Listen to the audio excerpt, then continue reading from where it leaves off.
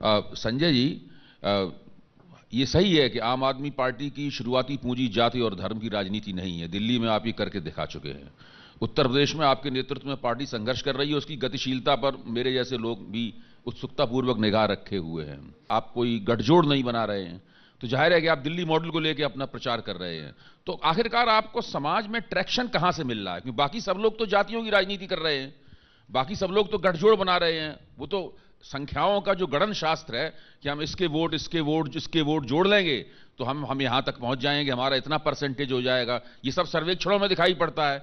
आम आदमी पार्टी का ज़िक्र तो अन्य में भी नहीं दिखाई पड़ता सर्वेक्षणों में। आ, ये बात आप बिल्कुल ठीक कह रहे हैं कि उत्तर प्रदेश की राजनीति जाति और धर्म में जकड़ी हुई है लेकिन निकालने का प्रयास कहीं ना कहीं से तो होना चाहिए और वो प्रयास आम आदमी पार्टी उत्तर प्रदेश में कर रही है। आ, बिल्कुल आपने सही कहा कि आज आ, वोट बैंक के हिसाब से लोग समीकरण अपना बना रहे हैं। और मैं तो खुलेआम कह रहा हूँ कि हमारा कोई वोट बैंक नहीं है।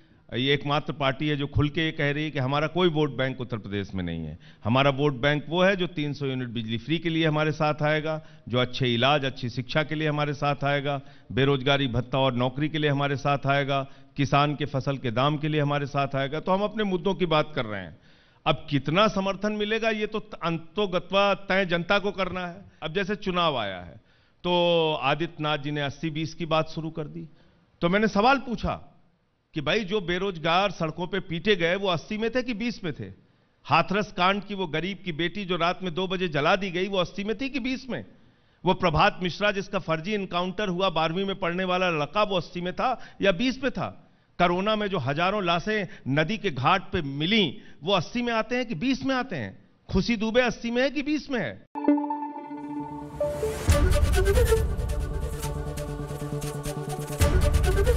एबीपी न्यूज़ आपको रखे आगे।